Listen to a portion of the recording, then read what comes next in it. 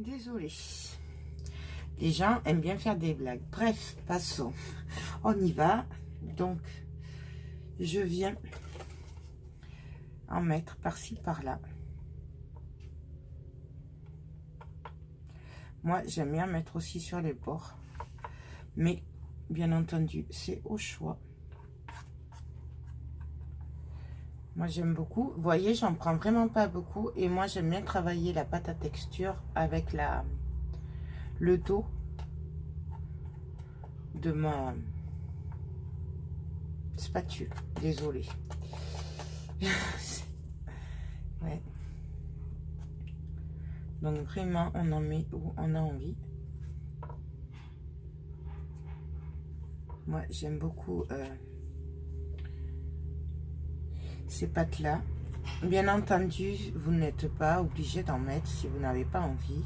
C'est vraiment... Euh, moi, j'aime beaucoup le faire maintenant. Chacun fait comme il veut. Si vous aimez pas, vous en faites, vous le faites pas. Forcément. Donc là, hop, il y un peu trop. Là, j'ai caché l'oiseau carrément. Donc là, je l'enlève. Voilà, vous voyez?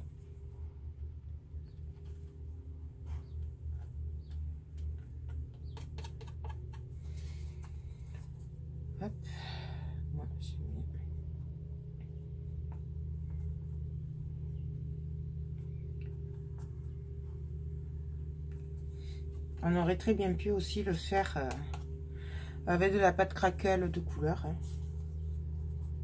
Moi, je le fais avec celle-là, mais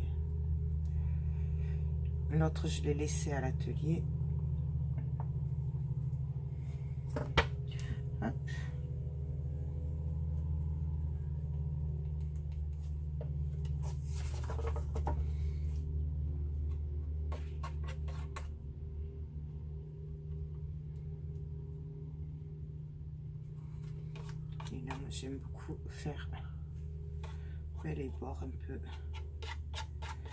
Voyez, euh, je m'applique pas, hein, je fais un peu n'importe quoi. Hein. Faut pas que ce soit euh, parfait. Euh. Vraiment, c'est...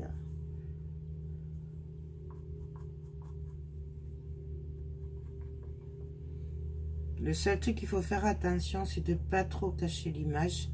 Parce que c'est vrai que ben, c'est blanc. Du coup, voilà. Mais si on voit qu'on en met sur l'image et que du coup, elle la verra pas, on fait comme j'ai fait, on essuie un peu et du coup, euh, ça se voit plus.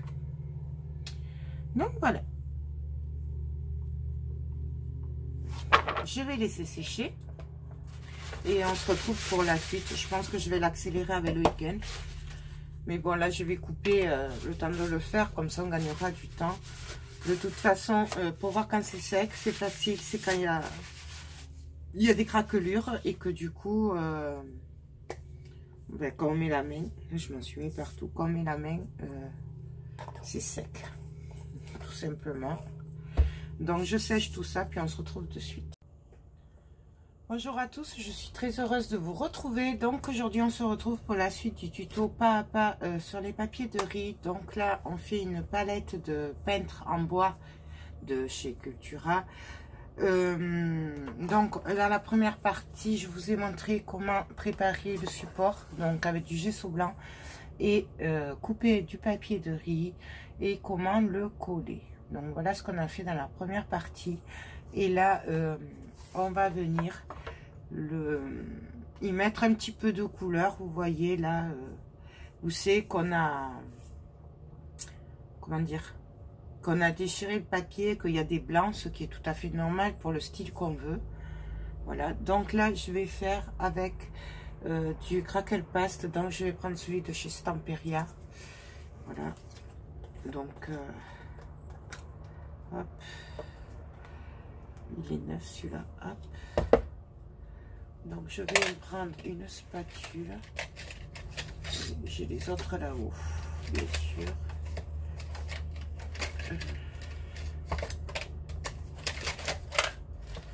Je vais prendre une petite. Donc là, euh, là c'est sec, donc du coup, hop, je le jette, ça sert à rien. Et là, je vais venir en prendre un petit peu.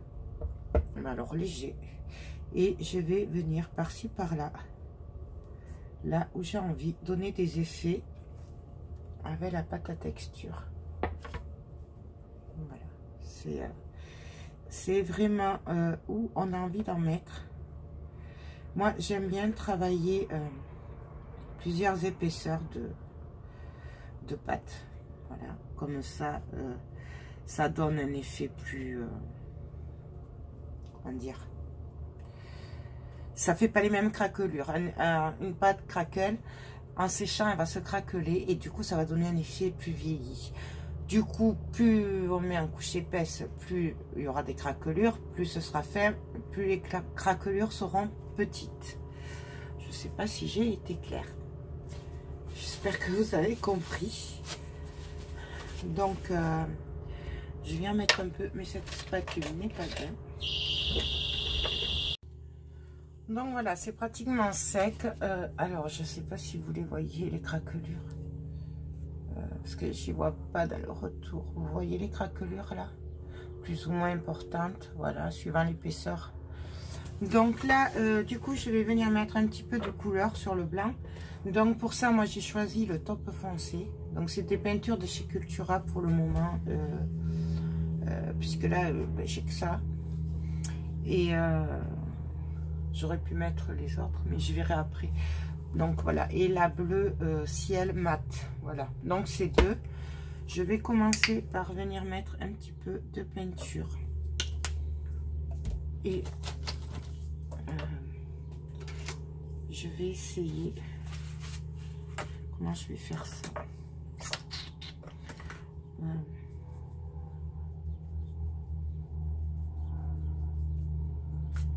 le temps peut-être.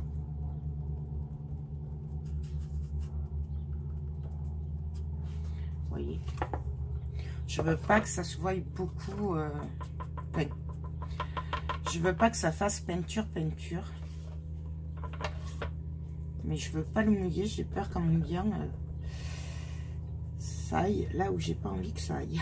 Je sais pas si vous m'avez suivi. Voilà. En fait je vais venir tapoter doucement. Mon éponge est sèche d'accord.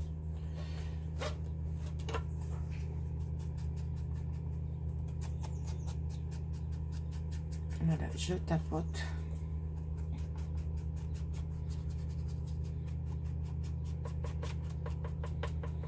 Et là, pour le moment, je ne repasse que sur la pâte blanche.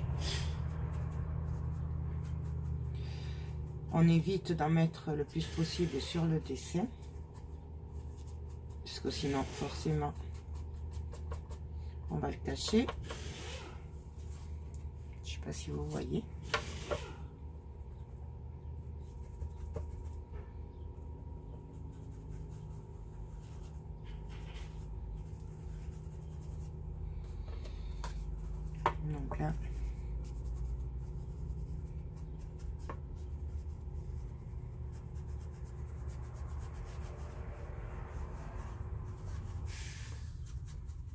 Voyez, où je tapote, où je tourne comme ça avec la mousse.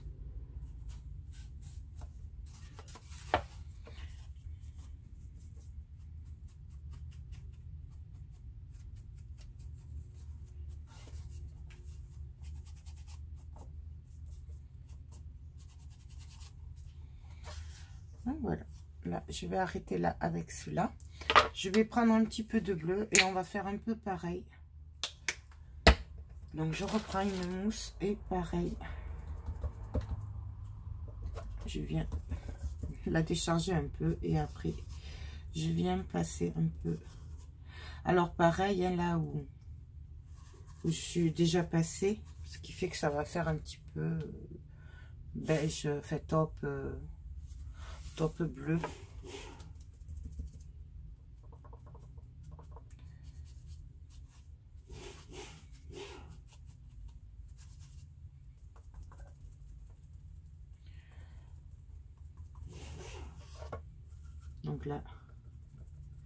On y va un petit peu partout. Où on a envie, on n'est pas obligé de le faire partout.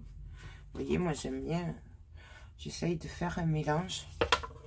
Bon, je vous rappelle, pour ceux qui ne le sauraient pas, que je suis pas très douée en peinture non plus. Je n'aime pas la peinture. Donc, euh, ne m'en voulez pas si en peinture, euh, c'est pas le top. Hein. J'ai jamais été très bonne en peinture. Donc... Euh,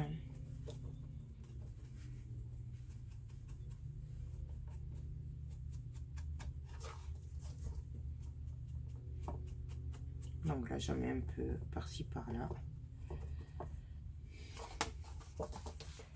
Jusqu'à ce que j'obtienne ben, ce qui me plaît, ce que j'ai envie, que je sois contente en fait du résultat.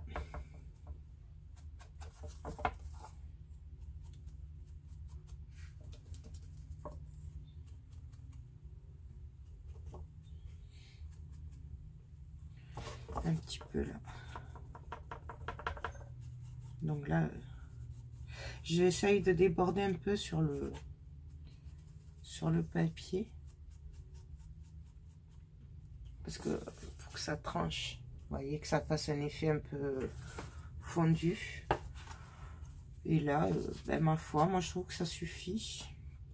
Peut-être un peu là. Donc je vais arrêter là.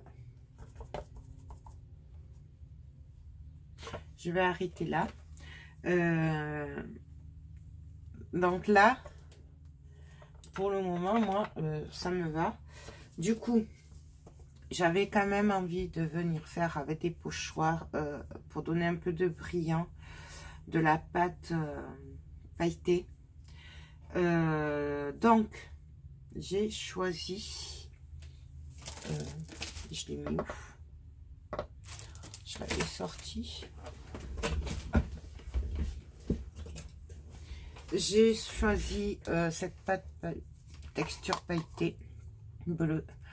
Donc, euh, celle-là, on la trouve plus chez Keepers. Mais ils nous l'ont remplacée par d'autres pâtes pailletées. Euh, je dois les... Bah, dès que je peux, je les commanderai pour les essayer. Elles ont l'air tip top. Du coup, voilà.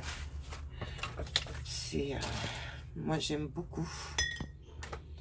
Du coup, on va venir en mettre par-ci, par-là. Et j'ai choisi bah, ce pochoir-là parce que je l'adore. Et on va venir prendre les petits dessins ici. Voilà. On va venir en mettre par-ci, par-là. Donc, on choisit où on veut le mettre. Je vais venir en mettre ici. Hein. Déjà, on va commencer par le haut. Bien entendu, c'est vraiment euh, celui que vous avez envie. Quoique j'aurais peut-être pu mettre le... Je l'ai pas l'orchidée. Je dois l'avoir en haut. Ah, je reviens. Ouais, non, je l'ai pas. Je l'ai là-haut euh, pour l'atelier de demain.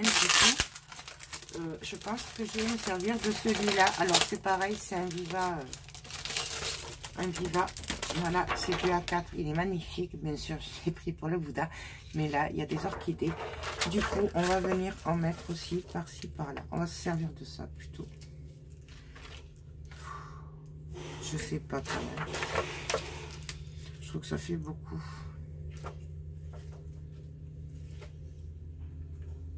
Non, je vais rester sur celui que j'avais choisi. Mais bien entendu, vous mettez ce que vous voulez, vous. Moi, c'est parce que c'est vrai que j'adore celui-là et du coup, euh, je vais rester avec celui-là. ouais, c'est comme ça. Quand j'ai une idée dans la tête, eh je ne l'ai pas hier. Du coup, euh, je vais prendre un peu de pâte à texture. Et je vais venir me placer. Donc, je fais en sorte que... Hein, je vais remonter un peu.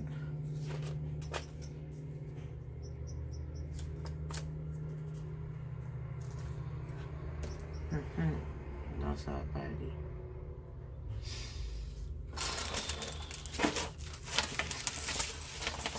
Pas. Vous savez quoi On va prendre des écritures plutôt. Ouais, je sais, mais du coup, euh, c'est pas évident de choisir. Avec celui-là, là. Ouais, je vais prendre celui-là. Donc ça, c'est un Stamperia. Je regarde que je cache pas de trucs d'image importante. Et du coup, là, je vais venir.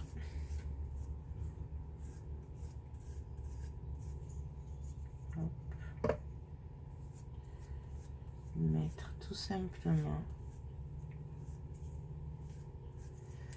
de la pâte à texture.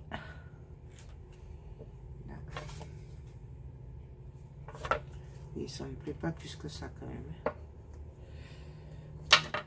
on va essayer avec le primaire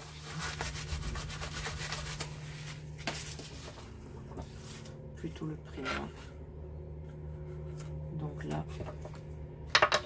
Ou alors c'est parce que je l'ai passé à la à la spatule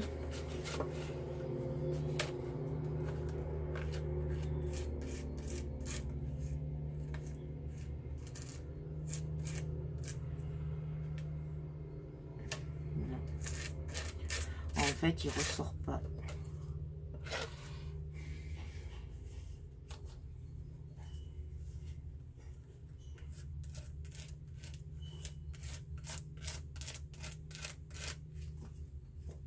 Ouais, non, ça va pas celui-là. Ça va pas. Je pense que je vais prendre une autre couleur plutôt, du coup. Parce qu'en fait, là, ça va pas du tout. Bon, du coup, mon, mes pochoirs auront des paillettes. C'est pas grave. Euh, je l'ai pas fait assez foncé, du coup, ça ressort pas. Non, vous voyez, euh, vraiment, faut essayer, quoi. Euh, du coup, du coup, du coup, déjà, je vais prendre cette granit, granit paste. C'est de la pâte qui fait effet granité, qui est déjà colorée aussi. Du coup, on va venir à mettre de celle-là. Donc, par-ci, par-là. Ça mettra un peu de couleur déjà. Plus que ce que j'ai mis. Voyez, c'est vraiment, on fait... Euh, on teste, quoi. Tout simplement. Euh, du coup, j'aurais bien envie d'essayer au moins un engrenage. Est-ce que ce serait possible?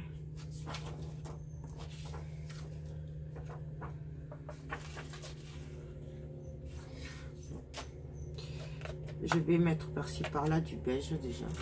du doré, parce que c'est doré en fait.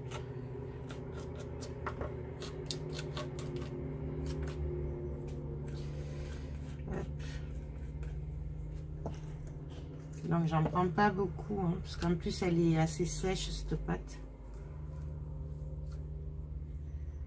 Donc, euh, vous voyez que ça donne.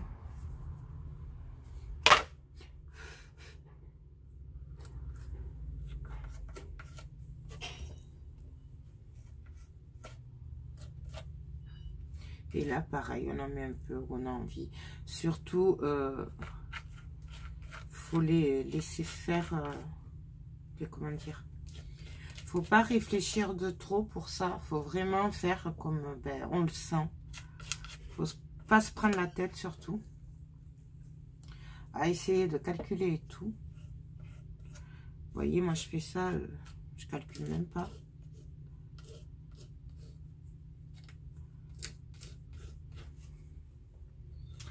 Voilà, un petit peu ici quand même.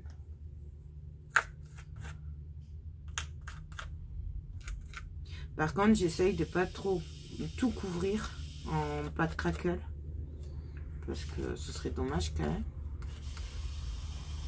Donc voilà. Je vous montre ce que ça donne. Je sais pas si vous voyez l'effet euh, granité, là, sableux. Voilà. Donc là, euh, je pense que je vais arrêter là parce que du coup... Euh, c'est assez chargé. Puis j'avais dit que je ferais un truc simple quand même. Hein, donc, euh, du coup, on va pas faire les pochoirs. On va les oublier. On va venir par contre euh, mettre un peu de cire. Donc euh, bah là, je laisse bien sécher un peu. Et puis on se retrouve de suite pour la, suite. Donc alors nous on va venir euh, mettre un peu de brillant avec de la cire. Donc on va servir des wax et des glamour gel de chez Stamperia. Du coup, enfin les, les wax c'est prima. Mais bien entendu, si vous voulez, vous, vous pouvez vous arrêter là. Si vous n'avez pas de cire ou quoi, que ça vous convient comme ça. voilà, moi je vais le continuer à le travailler un petit peu puisque du coup celui-là ce sera pour vendre. Du coup, euh, je vais le continuer. Mais on pourrait très bien le laisser comme ça si on avait envie. Euh, il n'y a vraiment aucun souci. Voilà. Du coup, je vais prendre quelques mousses. encore Je vais prendre une mousse. Donc là, je prends celle-là parce que les autres ça m'embêterait un peu de les abîmer. Et du coup, je vais venir avec la Glamour euh, Paste. Donc, c'est la Golden. Bon, alors, je suis désolée, elle est sale un peu. Je vais essayer de l'ouvrir, celle-là. Si j'y arrive. Je vais pas y arriver. Ah si, voilà. Donc, voilà, elle est beige. Et là, euh, je vais venir en prendre un petit peu, tapoter et venir par-ci par-là en mettre un petit peu. Ça donne un peu de brillant, mais par transparence. Je sais pas si vous allez le voir du coup. Voilà, ça cache pas le dessin, ça cache pas les couleurs, ça donne du brillant, tout simplement. Et moi, j'aime beaucoup. C'est pour ça que j'aime beaucoup les... C'est glamour gel. Bon, je vais finir au doigt. Parce qu'au bout d'un moment... Voilà. Et là, je vais venir par-ci, par-là. Mettre un peu de glamour gel. Et vous voyez, ça cache pas le dessin. Je sais pas si vous le voyez, vous. Et donc, par-ci, par-là. Euh, bon, on n'est peut-être pas obligé de le faire au doigt, hein. on peut le faire euh, avec un pinceau. Moi, j'aime bien travailler au doigt. Mais bon, c'est pareil, c'est chacun qui travaille après comme il a envie. Donc, par-ci, par-là, j'hésite pas à venir mettre un peu de brillant.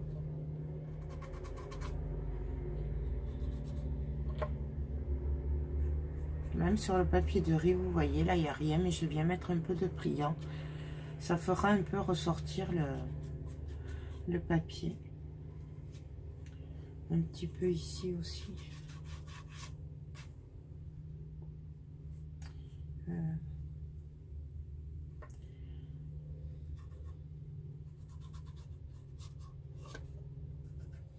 Et du coup, ça fait un peu ressortir... Euh, un peu tous les dessins, quoi. Donc là, je vais arrêter là avec celle-là. Vous voyez pourquoi ça se colle, les bouchons. Pensez à bien, bien nettoyer vos pots après.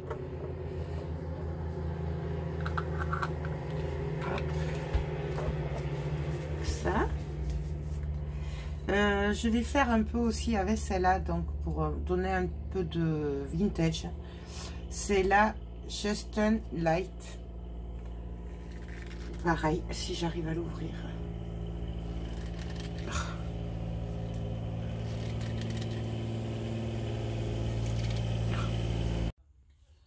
Donc voilà, et là on va faire un pareil avec la avec l'autre. Euh, je vais essayer d'attraper un petit, une petite. Voilà. Elle est encore humide, donc je l'essuie bien. Et donc là, je vais venir alors là, par contre, on y va doucement. Et là, je viens l'étaler avec le doigt. Et là, je vais venir faire tout le tour par contre, pour relever un petit peu. Vous voyez marqué euh, un peu comme quand on fait un album photo, euh, qu'on lui donne un style vintage. Ben voilà, c'est un peu pareil. Donc, euh, on y va.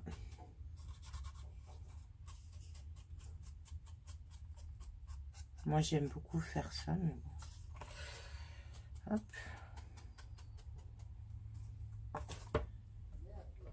Je vais le faire aussi là, autour là, hein, du rond. Comme ça, ça mettra un peu de... Voilà. Euh, là, c'est bon. Je pense que ça va aller. Hum, hum. Ouais. On va dire que ça va aller. Parce qu'après... Donc voilà. Désolée pour le bruit, hein, mais... Euh, là, et je vais mettre encore un petit coup de un peu plus foncé avec le Dark Wood. Donc c'est un peu plus foncé. Et là, c'est vraiment que pour faire le bord. Voilà, j'en prends vraiment très peu. Et là, je viens faire le bord avec, tout simplement.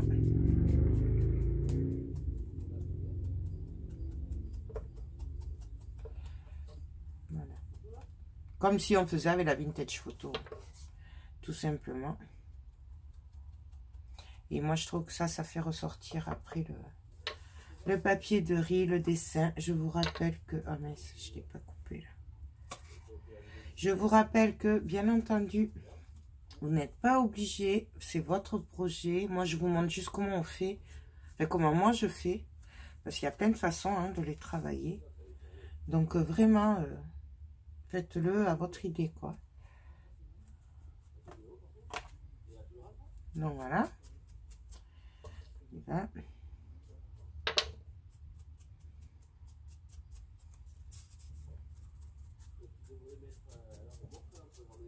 Voyez de suite on peut le faire aussi avec du noir si on a envie mais bon moi j'aime beaucoup assombrir les bords comme ça un petit effet. Je sais pas si je vais y arriver ici. Voilà, et là, je viens sombrir un peu. Mais très très léger. Là, j'en ai trop mis, donc je viens essuyer. Voyez, quand je vous dis, il faut bien bien tapoter.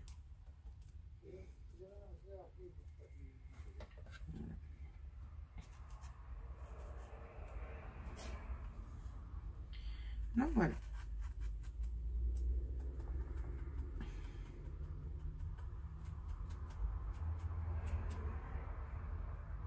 Moi, je pense que ça va aller. Euh, il est assez... Euh, moi, ça me suffit. Je vais juste euh, mettre un peu de blanc, par contre. Un peu de patine blanche. Non, pareil, je vais prendre la Stamperia. Du coup, je vais pas me servir des primas puisqu'il y en a largement assez. Et là, pareil. Je viens par-ci, par-là, mettre un peu de blanc. Surtout là où je vois que ben, ça fait un peu trop... Euh, comment dire Un peu trop foncé. Ou que je trouve que ça ressort pas assez.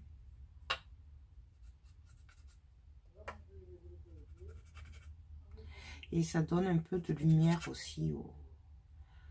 Enfin, je trouve.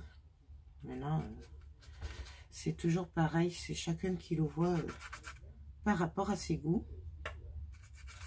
Vous voyez, là, si j'en mets un peu sur les fleurs, ça va venir faire un effet un peu...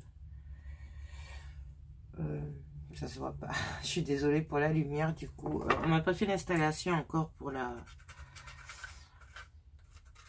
pour la lumière ronde là. Voilà. Donc du coup... Euh, non, ouais. Moi, là, ça me va. Je vais arrêter de le tripoter. Parce que par contre, une fois que ça va, euh, faut pas trop trop le, tripoter. Puisque le problème, c'est qu'après, puis on va le tripoter et on sera content. Et du coup, mais on n'en finit jamais. Donc voilà, moi, j'arrête là. Donc voilà euh, mon ma palette euh, décorée avec du papier de riz. Donc, enfin, ma palette de peintre. Bien entendu, on peut très bien y mettre un sheetboard. Euh, on peut y mettre euh, le nom de quelqu'un. par exemple, je pourrais mettre l'atelier duel 31 si je voulais. Voilà, pour faire une plaque de porte ou d'atelier ou n'importe. Voilà, c'est vraiment après au choix. Euh, juste le derrière, du coup, moi, je vais le peindre. Euh, dès que ce sera bien sec, je vais le peindre. Et puis voilà, quoi. Et puis après, ben, on, verra. Il sera fini. Euh, je pense que je le mettrai en vente, celui-là. Donc, je vous montre. J'espère que vous le voyez bien. J'essaierai de vous le filmer peut-être avec une meilleure lumière, si j'y pense. Donc voilà. Donc là, euh, voilà, j'ai que le derrière à peine, mettre le tampon et voilà. Ben écoutez, j'espère que cette vidéo pas, vous a aidé à comprendre pour le papier de riz. Bien entendu, si vous avez des questions, ben n'hésitez pas. Euh, si, vous vouliez voir un autre style, de toute façon, il y en aura d'autres styles. Donc là, euh, c'est vraiment le premier comme ça parce que je voulais faire autre chose, euh, sachant que j'en ferai sûrement euh, avec les nouveaux papiers de riz euh, Studio Light que j'ai reçu jeudi. Voilà. Donc, c'est que le début. J'ai plein de projets en tête. Donc, voilà. si vous voulez un kit Keepers avec des papiers de riz, n'hésitez pas à me le dire que je vous le mette en place. Et le style que vous voulez. Et si vous voulez des kits complets, donc avec tout le matériel qu'il faut, ou si c'est que ben, le papier de riz, les supports, ou voilà. Enfin, n'hésitez pas à me le dire, moi euh, je suis à votre écoute. Euh, j'ai une chaîne pour vous, pour vous partager avec vous. Donc euh, voilà quoi, je suis ouvert à tout, donc n'hésitez pas à me donner votre avis. Donc voilà, ben écoutez, sur ce, je vous laisse, je vous fais tout plein de gros bisous et je vous dis à très bientôt. Bye bye.